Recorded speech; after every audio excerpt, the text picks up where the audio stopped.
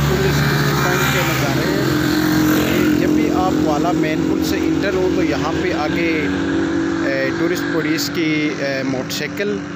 और यहाँ पे ही टूरिस्ट पुलिस की गाड़ी और ये आपको जो मेन बोर्ड नज़र आ रहा है, जिसमें ये वाज लिखा हुआ है, मुजफ्फराबाद 35 किलोमीटर,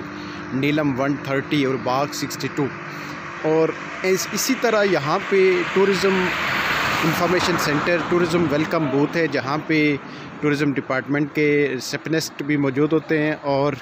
यहाँ पे इंफॉर्मेशन के लिए हर किस्म के आपको